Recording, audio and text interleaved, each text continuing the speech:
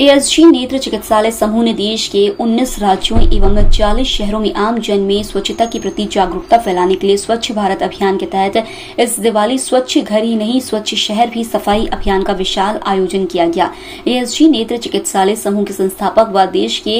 सुविख्यात वरिष्ठ नेत्र चिकित्सक डॉक्टर अरुण सिंघवी और डॉक्टर शिल्पी गांग ने बताया कि एएसजी नेत्र चिकित्सालय समूह ने सदैव आम जन के प्रति पूर्ण संवेदना के साथ काम किया है और समय समय पर देश भर में विभिन्न जागरूकता अभियानों के माध्यम से समाज को प्रेरित और जागरूक करने का प्रयास किया है इसी क्रम में स्वच्छता के प्रति जागरूकता फैलाने के लिए एएसजी नेत्र चिकित्सालय समूह द्वारा देश के उन्नीस राज्यों के चालीस शहरों में एवं एएसजी के नेपाल काठमांडू सहित सभी हॉस्पिटल्स में एक साथ चालीस शाखाओं से प्रारंभ किया गया सफाई अभियान का शुभारंभ प्रत्येक शहर के गणमान्य अतिथियों द्वारा किया गया सफाई अभियान में क्षेत्र के विशिष्ट प्रतिनिधियों एवं अनेक सामाजिक संस्थाओं एवं सामाजिक संगठनों ने हिस्सा लिया